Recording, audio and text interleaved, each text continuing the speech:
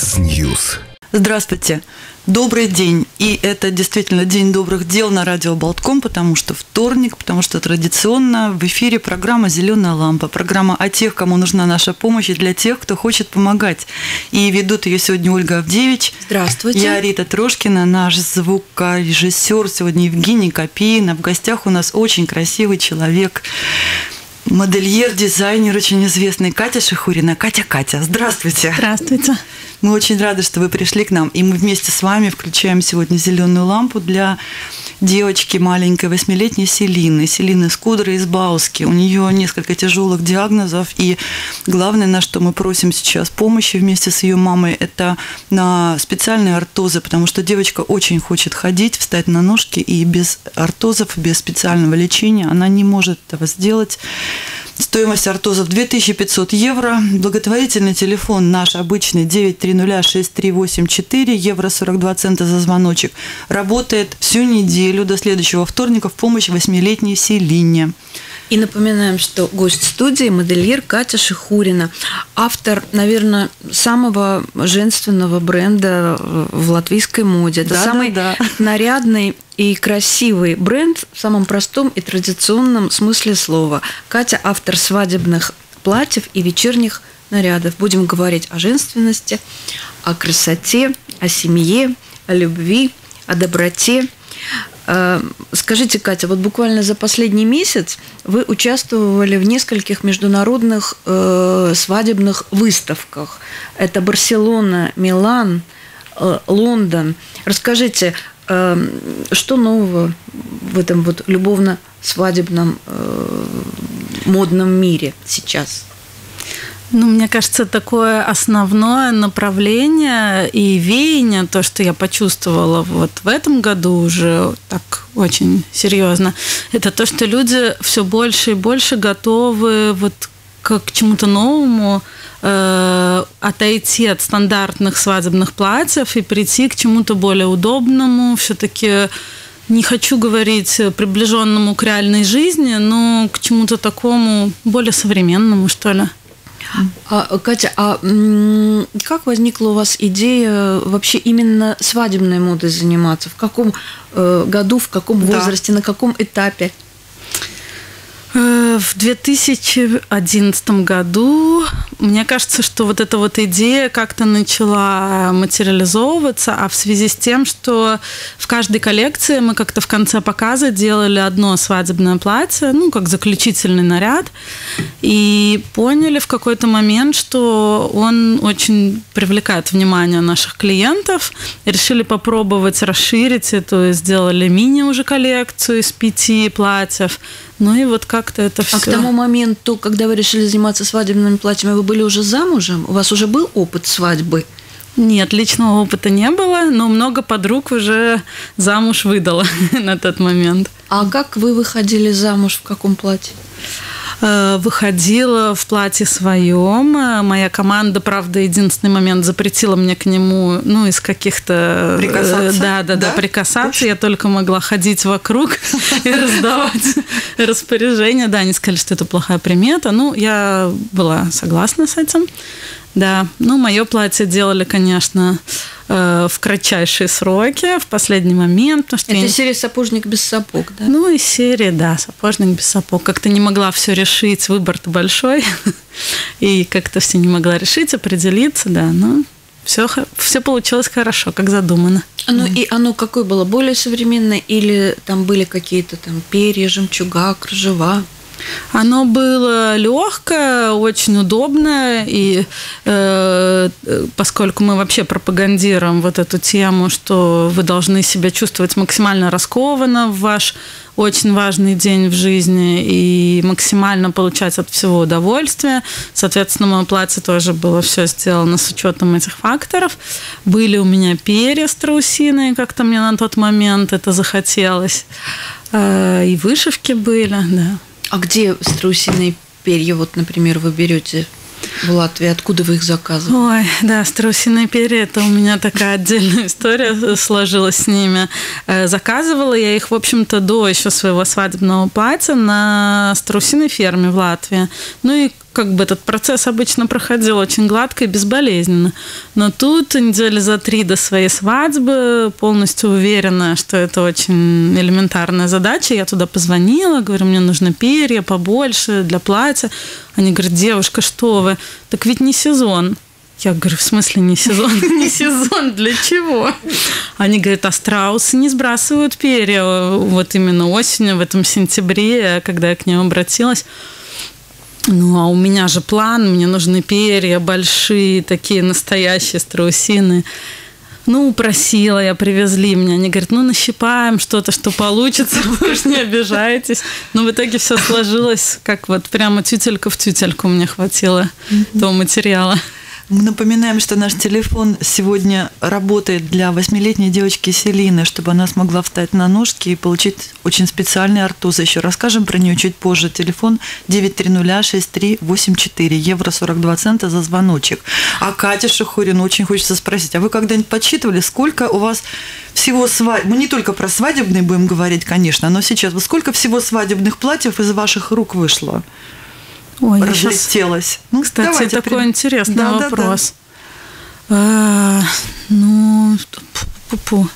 ну, в год мы выпускаем порядка 700, наверное, О, ничего 800 платьев. Ничего себе. Ну, вот и за это время, боже, как-то даже страшно считать.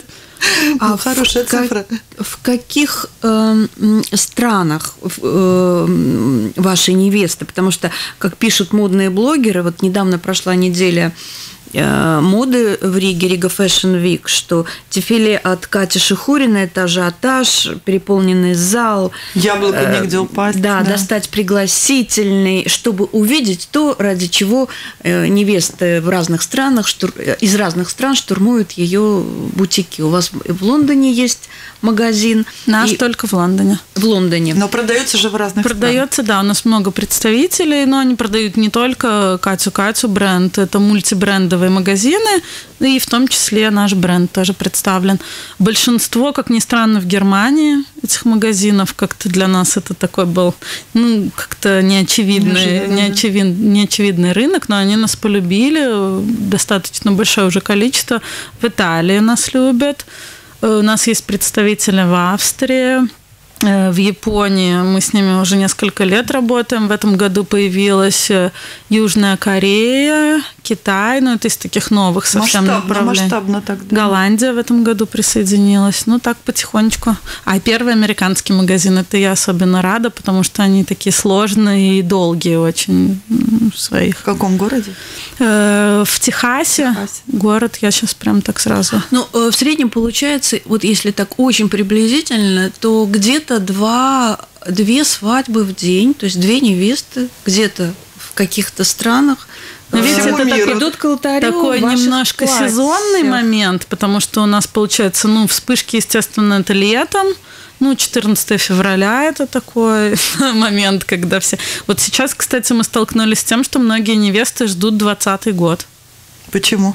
Ну как, почему? 20 2020 а, год. Вот я тоже долго не могла понять, почему же они его ждут. Да, да, да. и там, наверное, будет 20 число каждого месяца, это тоже. В 20.00. А мы, дорогие радиослушатели, вот просим вас, если у вас будет время, зайти на сайт Mix News в раздел «Зеленая лампа», посмотреть а, на, на фотографию нашей девочки восьмилетней Селины. Она вот э, реально похожа на принцессу. Вот ей тоже очень бы подошли какие-то такие принцессные э, платья. Очень красивая девочка, очень живая, очень милая. Но столько ей довелось в ее маленькой восьмилетней жизни пережить, и мы каждый, в каждой истории обсуждаем здесь в этой студии какие-то обстоятельства э, или моменты, которые вот, ну, поразили в этой истории больше всего. Э, вот э, в истории восьмилетней этой девочки есть э, два момента, что дважды э, ей пришлось э, пострадать от невнимательности или халатности. врачей. Это при родах, когда э, маме в Бауске, мама в Бауске попала... Елгавина э, попала. Елгавской больнице. Да. Из Бауски ее угу. отвезли в Елгаву. В Елгавской больнице э, ей сделали укол, который тормозит э, течение родов. И потом оказалось, что это была ошибка. Ее повезли в Страдане, а в это время э, девочка оказалась, отошли воды, и она оказалась без защиты вот этих околоплодных вод. Потом врачи, когда разбирались, да, они сказали, что, ну, скорее, скорее всего, это дало очень mm. такие Но роды были преждевременные, осложнения, да. И причем у мамы есть два старших сына. То есть мама, когда она нам рассказывала, она говорит, я же рожала в третий раз, и я знала, что у меня роды, и она Э, приходила, ломилась в это родильное да. отделение своей палаты и говорила, что ну, мне плохо, надо что-то делать. Ей говорили, нет, идите э, и ждите. Не может быть. Не может ей. быть. И как вы сюда зашли, если э, надпись на дверях, вы видите, угу. что посторонним вход воспрещен. В общем, вот это какая-то в голове не укладывается ситуация. И потом, когда девочку вытащили уже из всех этих сложностей, инкубаторы, там, то, что она ну, была девочка уже... тысяча 350 грамм родилась. Инфицирована сразу. Ну, и потом, когда она на реабилитации лежала в больнице в Гайлизерс, там вообще вопиющий случай произошел. Она просто эм, лежала в этой вот э, люлечке, люлечке, кроватке, что-то вот рукой. И стоял чайник с кипятком которого, который, которого совершенно там не должно было быть. И чайник был э, не, не, не то, что в нарушение всех правил техники безопасности, он еще и был с какой-то треснувшей крышкой, и этот кипяток вылился на полуторагодовалую девочку. То есть и к, к, к уже врожденным своим э, всяческим болезням и проблемам э, вот это страшная трагедия. Угу. И поразил нас тот факт, что конечно, ну как 40% ожога было, и врачи сказали маме, что и при 20% в общем-то исход не ясен в какую сторону, да, да? то есть удастся ли вообще спасти ребенка. Э, мама была в шоке, папа был в шоке, то есть там, естественно, в тот момент они не думали, кто виноват. Потом, когда девочку уже практически с того света вытащили, там были пересадки кожи, пластические операции, папа написал жалобу омбудсмену больницы, и было принято, было принято решение оштрафовать зав. отделением на 230 латов.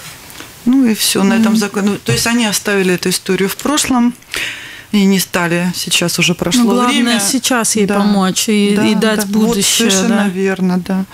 Что мы можем как-то включиться в эту историю. Потому что, вот, понимаете, мы приехали на встречу, да, мы сидим с мамой и ждем Селиночку с занятий. Да. А она ходит очень быстро с этими роликами, вот на ролике на колесиках, она держится и прямо носится да. на них, а, то есть а сама не может не стоять. Стоят. Да, да, она да. опирается угу. руками, но он, и она вот, живая, как и ртуть. Вот мы, мы сидим, открывается дверь, и заходит этот сон солнечный ребенок с распахнутыми глазами. И она смотрит, говорит, мамочка. И, и несет ей картинку. День матери да, как да. раз был. И там нарисован человечек, написано «Моя мама, мама, мама Кристины». И, в общем, нарисован ей подарок. И мама ее обнимает и говорит «Мое сердечко». И это, это настолько трогательно. Это такая вот воплощенная любовь. Просто вот нереально. Но она поэтому и выжила, да, что она да. такая живая и жизнерадостная. И она растет, конечно, в любви, mm. потому что папа вынужден работать за границей, чтобы mm-hmm. там как-то обеспечить обеспечивать. Да. А, они все всех любят друг друга, любят. Ребенок этот просто очень любимый. В все, во многих семьях, где нет таких проблем, вот не встретишь даже такого, а это просто вот такое. А это самое главное. Угу. Самое главное. И поэтому очень хочется ей помочь. На, сай- на нашем сайте Mix News LV в рубрике «Зеленая лампа» есть рассказ очень подробный о Селине. И на Фейсбуке на страничке «Зеленые лампы» тоже есть рассказ о Селине с фотографиями прекрасными. Посмотрите, пожалуйста. И там есть номер счета, который открыл банк, э, ой, который открыл благотворительный фонд Be Open, мы с ними сотрудничаем, чудесные люди там работают, они открыли этот счет для Селины специальный. Все деньги с этого счета без никаких процентов, естественно, не берется оттуда, они полностью пойдут на оплату артозов, которые специально для Селины будут заказаны, чтобы она смогла на ножки вставать и ходить. Артозы – это такие э, э, специальные как приспособление, как такие сапожки, сделанные ну, да. из специального материала, которые фиксируют до коленки ножку, чтобы Мышцы она, ноги. могла, она могла стоять. Держаться, да. Стоять, держаться и начать учиться ходить. И с этими артозами тогда дети начинают делать шаги, и функция И мышц, укрепляются да, мышцы. начинает А, работать. разрабатываться. Да, и потихонечку, потихонечку тогда Мы де- верим, что будет дети встают хорошо. на ноги и ну, идут. верим, у нее обязательно все получится. Вот должно быть, правда. Стоимость вопроса 2500 евро. Это не такая там катастрофическая сумма, но семье ее не собрать. Телефон 9306384. Евро 42 цента за звоночек. Когда собираются вместе эти звонки, очень быстро набирается нужная сумма. Но более того, Селиночке нужна реабилитация постоянно каждые полгода в связи с этими ожогами. И очень много пересадок кожи у нее было, и сейчас ей нужно постоянно тоже вот это все продолжать. И на реабилитацию тоже им нужны будут деньги. Поэтому если мы свыше этой суммы что-то соберем, оно пойдет все только для нее. Мы ждем очень вашей помощи, мы знаем вашу отзывчивость. Спасибо всем большое заранее. Напоминаем, что у нас сегодня в гостях дизайнер очень известный Катя Шехурина. Katya Katya, ее бренд называется. Да? Мы говорим о красоте, моде, любви, о тенденциях моды. Сейчас вот после небольшого перерыва попросим Катю рассказать. Да? Оставайтесь с нами. После новостей мы продолжим. Mix News. Мы продолжаем программу «Зеленая лампа». Напоминаем, что сегодня наша программа помогает восьмилетней девочке Селине, чтобы она смогла встать на ножки, и у нее появились новые ортозы стоимостью 2500 евро. Телефон 9306384 работает всю неделю для маленькой Селины из Бауски. И стоимость звоночка евро 42 цента. И напоминаем, что в гостях у нас очень известный человек, очень красивый человек. Это дизайнер, модельер Катя Шахурина. Катя, мы хотим, а знаете, о чем спросить? О театре. Любите ли вы театр, как принято говорить? Что вас связывает с театром Я полюбила особо? театр, потому что меня связывает э, с Дайлас театром. Вот сейчас в марте вышла шестая постановка, для которой я сделала... Шестая уже? Да, шестая, так быстро время летит. Э, Сделала костюмы, это Каренин, ну, интерпретация Анны Карениной. И, наверное, это была та постановка, которую я ждала больше всего, потому что это очень моя тема. И я, наверное, пересмотрела, перечитала все, что могла, связано с этим произведением. И вот, да, театр – это мое такое творческое счастье. Катя, а эм, то есть это современ, современная интерпретация классики, да? Это по э, произведению э, Сигирева. Это российский такой Да. драматург есть. И он написал именно Каренин э, произведение. Это, скажем так, вся история, основанная на э, романе Льва Толстого глазами Каренина. То есть это больше через его призму, его переживания. Другой поворот такой, Да, разворот. другой более такой личный, там а нет... как- какая Да. Анна у вас? Какие там платья? Как вы ее вообще рисовали и придумывали в себе? Ну, Анну задача стояла вне времени, но, конечно, с какими-то отсылками к тому времени все равно она у нас яркая. Но она на самом деле разная. Она яркая и спокойная, и в себе, и открытая. Э, Разная, да. Разная Сколько очень. платьев у нее? У Анны, мне кажется, шесть. Ну, Шесть, хорошо, наверное, хорошо, костюмов. повезло Анне. Скажите, а для вас вот э, в этом произведении кто главный герой? Анна или, может быть, Вы знаете, Карин. Сережа. Сережа? Да, я как-то, э, когда появился Сережа, когда я попала уже на эти главные репетиции, в конце, когда мы смотрим костюмы, декорации и все это вместе, как играет, живет, а Сережа у нас кукла. Э, У нас половина спектакля это кукла, и в некоторых эпизодах появляется мальчик. И кукла сделана совершенно потрясающе в рост восьмилетнего мальчика. Это благодаря Рижскому кукольному театру. Они ее и смастерили нам. И Интересно, он как? живет абсолютно, э, абсолютно каким-то своим вот этим всем образом. У него другие движения и сложные, сложные сцены. Почему, собственно говоря, и кукла? Потому что ребенка в таких сценах, э, ну, наверное, не, не этично использовать. Ну, не использовать, а как бы чтобы, да, за- за- задействовать, да. И поэтому эти сцены как-то, да, для меня, и мне кажется, и для Каренина, и для Карениной этот Сережа, ну вот именно в этой интерпретации это... Основной. Да, основной. А вот у вас персонаж. награды есть за театральные эти костюмы ваши. Давайте похвастаемся. Ой, я не люблю хвастаться. А мы вот вас попросим. Ну, наверное, очень э, важно, как я потом поняла, поскольку это был мой самый первый спектакль «Восемь женщин», и я совсем не знала, честно признаю, что такое Act, и, и как это, да, и как это важно. ночь лицедеев. Да, это я первый раз попала на это все э, действо и, и была абсолютно в шоке, поражена, насколько это на высочайшем уровне все было организовано. И я была, да, номинирована как э, э, художник по костюмам за спектакль «Восемь женщин». И сколько, же- сколько костюмов вы сделали? Для восьми А женщин. восемь женщин у нас все было очень просто. Восемь первое отделение и восемь второе. И Резия Калныня там была. Там все были, там и Лили Тозелыня была, и, и, и Рези была, и девочки Лелд Дрейман, и Дарта Даневича, и ой, там все звезды были. А чем театральная мода отличается от, скажем так, обычной? А театр, мне кажется, вне моды. Театр это больше про персонажа, про То костюм, который должен характер. играть. То есть он должен помогать э, актеру. Э, Ну или во всяком случае не мешать, если это задумка, допустим, какая-то художественная, то хотя бы не мешать. И, и вообще, да, нет, наверное, больше помогать, потому что образ это же очень тоже важно. Они иногда просят даже раньше одеть костюм и парик, чтобы уже войти в свой образ, прочувствовать его.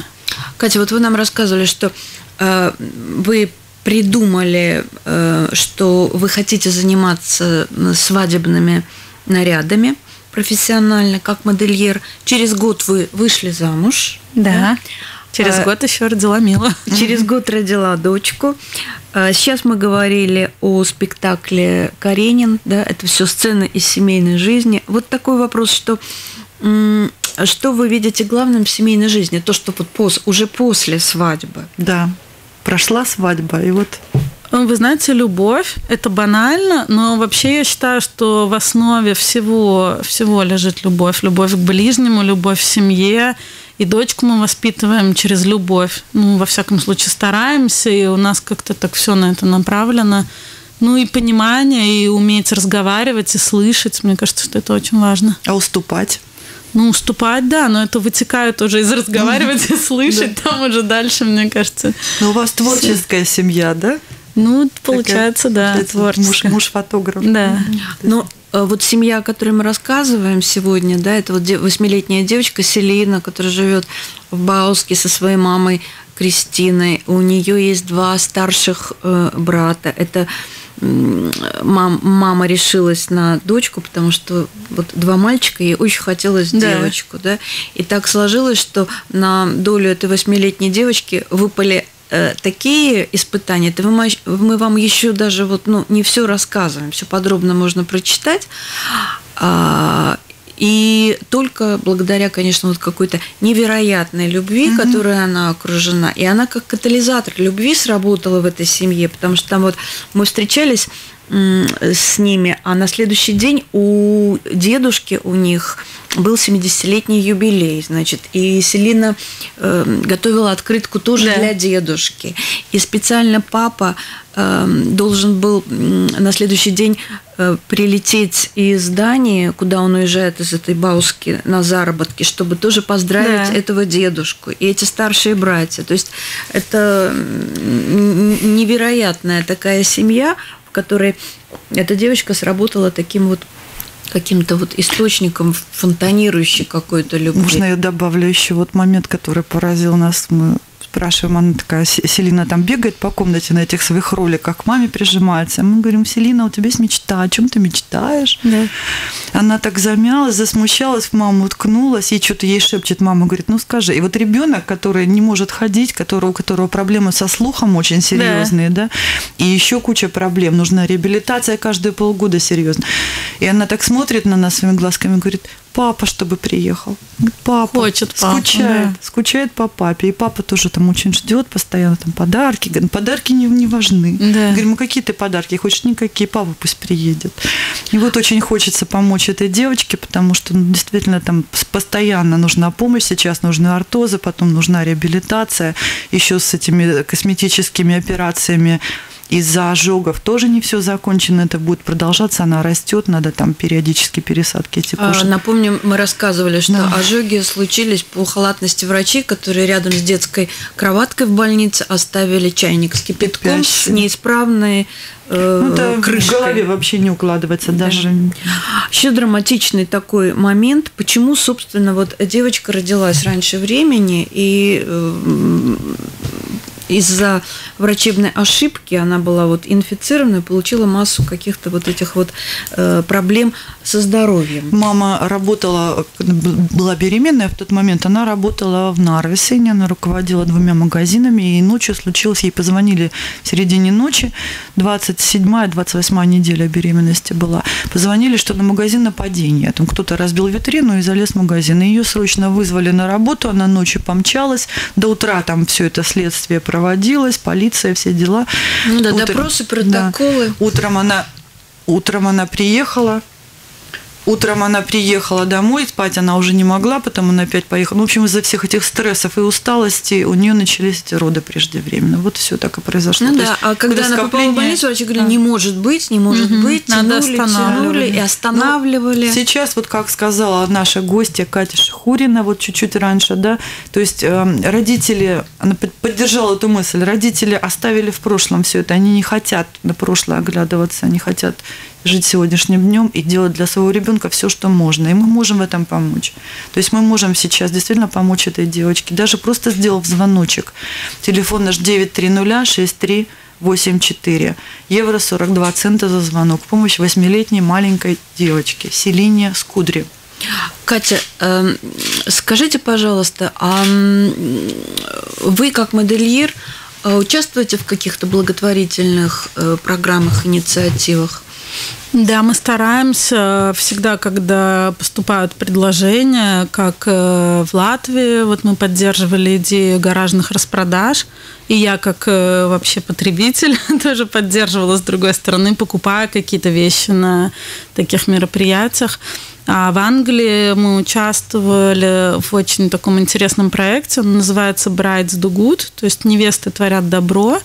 Э, Это бренды дают э, ну, определенные там или из прошлых коллекций платья, или ну, какие-то просто, просто платья на продажу, а женщины, покупая это платье, э, помогают благотворительному фонду, который останавливает э, на самом деле мы не задумываемся, но в некоторых странах до сих пор существует вот эта э, история принудительных браков э, в очень раннем возрасте, и вот эти деньги, то есть невесты свои, своей покупкой поддерживают... Выходя замуж. Да, выходя Да. замуж и покупая платье, помогают этому фонду, который поддерживает девочек и борется с... От этих ранних принудительных Да. браков. чтобы- Я, честно говоря, даже вот пока мы не начали участвовать во всей этой Не истории, я даже не да? задумывалась, потому что мы как-то не сталкиваемся с этим. Кать, а вот э, ваши работы, ва- вашу эту красоту, которую вы, я даже не могу сказать, делаете, творите, наверное, это правда очень красиво, а, называют самой жен- самыми женственными коллекциями вообще, да, вы латвийский дизайнер, вы вот производите эту женственность, а сейчас женственность в нашем довольно жестоком мире, она не устарела, как вот, где ее место, как вы видите это? Ой, знаете, я один раз э, услышала такую фразу, как-то она мне на всю жизнь запомнилась. э, Кто-то сказал, э, твоя сила в твоей слабости. И, наверное, это вот очень хорошо иллюстрирует эту тему женственности. Мне кажется, что женщине все равно нужно оставаться женщиной. Несмотря ни на что. Несмотря ни на что, да. Мгм. И, вот я это всячески поддерживаю. Ну, вы сама такая, наверное. Расскажите про вашу дочку. Как вы ее воспитываете? Ой, дочка у нас такая девочка-девочка. И, ну, воспитывать мы стараемся ее Э, у нее есть рамки, но в этих рамках она Свободна. свободно, да, может функционировать. Она очень независимая и такая у нас дама с характером. И на самом деле она нас тоже, наверное, очень много воспитывает. И как-то э, мы вместе с ней Как растем, растем и учимся. Ну вот мы говорили о том, что надо слушать э, и как-то уступать. Вот, вот это тоже приходится как-то по-другому смотреть на вещи, идти на уступки. И вообще понимать, на самом деле сейчас ей почти 6, и я прям чувствую, что она абсолютно отдельная личность, и она имеет право на свое мнение, и мы прислушиваемся к нему. А как она к вашим а, работам относится, к платьям, к свадебным, например? Вы знаете, это тоже интересно, потому что я абсолютно не хотела это культивировать, ну, до определенного возраста. Ну, мы как-то не хотели давить, и если мама делает платье, то значит это только твой путь. Но мы решили, пускай она пока развивается в таком, в своем, в своем в каком-то мире и не знает об этом. И, и потом в какой-то момент она мне сказала что-то, вот, мама, ты опять сделала невесте платье, а мне не делаешь. То есть, ну, видите, получается, дети, они же все слышат, она слышит, о чем мы разговариваем, и даже если мы ей специально об этом не рассказываем, то она это все равно все понимает. Да, но сейчас у нее новая радость, это она приходит после садика ко мне на работу, и вот на манекене ей мои девочки команды дают манекен, какие-то тряпочки, и она творит. Кстати, Нет хорошо и- получается. Нет идеи сделать какую-то жи- э, детскую линию для девочек. Ой, знаете, нет. Это такая сложная работа, и там и размеры, и быстро они растут, как-то как-то нет. Но если у нас просят, бывали такие случаи, когда невеста очень просит э, для доченьки, тогда, конечно, делаем. Но так как отдельную линию пока нет. Катя, вы рассказывали про Анну Каренину, да, что вы создавали образ для театра Дайлас. А какие, скажем, женские образы или исторические, или, может быть, литературные какие-то героини вас вдох- вдохновляют? Ну, моя такая любимая тема, к которой я люблю возвращаться, это, э, это, потеряла идею. Мария Антуанетта. Все, нашла. Да, серьезно? А то она у меня стояла перед Мария глазами. Никогда. Да, Мария Антуанетта. Мне как-то очень эта тема интересна. потому что вы в Париже учились. Ну, может быть, не знаю. Наверное, может быть, поэтому. Но мне кажется, она вообще была одной из первых законодательниц моды. И именно даже не моды, а именно стиля какого-то своего личного такого э, интерпретации. А вот еще была такая героиня, герцогиня Винзорская, которая Уоллес Симпсон, Да, знаменитая. это Да, меня она тоже было. у вас коллекция, да? Да, да, да, коллекция. Я как-то так вдохновилась. Мне нравится пересматривать э, эти старые фотографии. И да, и мне как-то так она прям даже на создание целой коллекции вдохновила. Кать, а в какой исторической эпохе вы себя вот видите, например? Какая вам ближе? И, ну, вообще я себя хорошо ощущаю там, где Сейчас, я да? есть, да, сейчас. Это отлично. Но мне было бы, наверное, очень интересно вот начало 20 века. Меня прям это привлекает до 20-х годов, когда Стиль, все да? очень Мгм. развивалось, и стили. Да, я бы вот прям хотела оказаться. А вот э, в ваших нарядах ходят знаменитости. раз- Ну, мало того, что невесты уже не только европейские, но уже и мы говорим о Южной Корее, Японии, да, выходят замуж в ваших платьях. Это же можно гордиться. Латвийский дизайнер вот так э, развернулся в мире. Но и Ким Кардашьян, например, в вашем платье. А кто еще? Расскажите, как вот так получилось? Э, У нас были и Мелани Си была, и Нелли Фортадо был- были. Вот они на концертах выступали в наших нарядах. Большое количество, вот сейчас за последний год было английских телезвезд. Ну, я их к своему стыду не Это- всех знаю, но они очень известные Это в ваш, Англии. ваш магазин в Лондоне, да? Ну, у нас э, есть пиар-агентство в Лондоне, с которыми мы работаем уже не первый год. И вот, ну, это, да, благодаря им и нашим нарядам, и все вместе.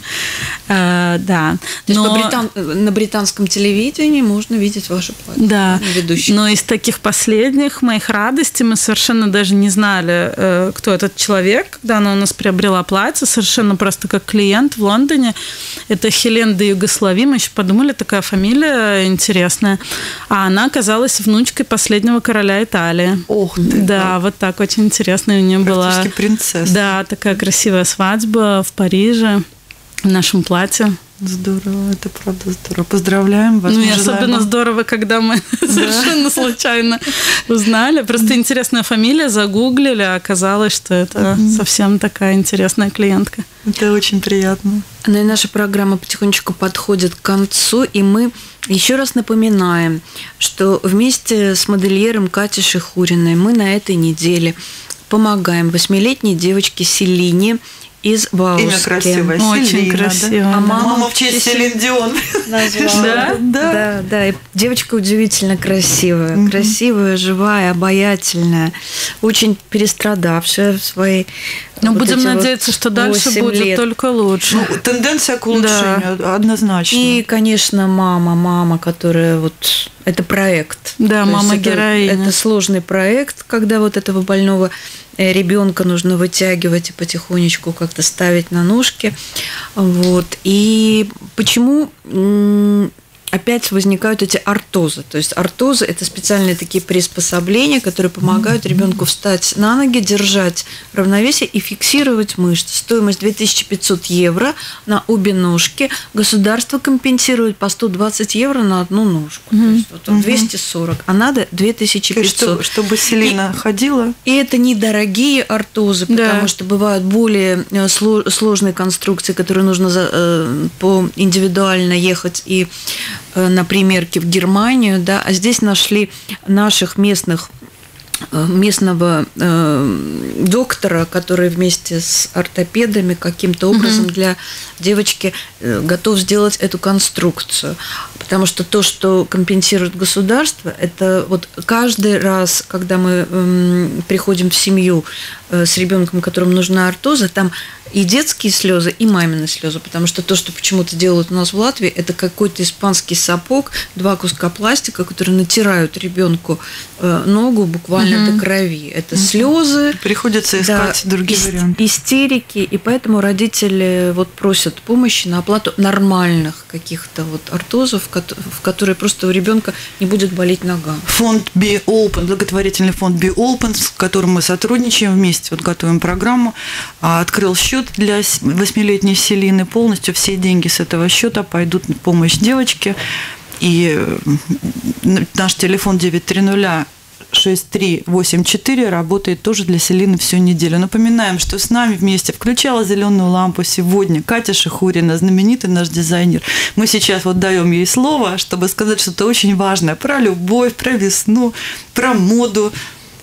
Ой, я бы хотела все-таки про Селину Про Селину. закончить, да, Хорошо. и попросить э, всех слушателей э, попросить просто, просто помочь, просто остановиться, задуматься и, и понять, что э, каждый маленький вклад – это билет в счастливую жизнь для маленькой девочки. И- а для себя самого? А для себя самого, Тоже ну, же, да? для себя самого это Это тоже так приятно. Да, давайте все вместе поможем Селине встать на ножки и пойти дальше во взрослую жизнь. Спасибо вам огромное, Катя. Мы вам желаем успеха и дальше покорять мир, и чтобы ваши платья вот просто Украшать, и украшали, украшать, украшать, этот мир. Украшать Спасибо. этот мир. Спасибо вам. большое. Всего хорошего. Спасибо. До встречи через неделю.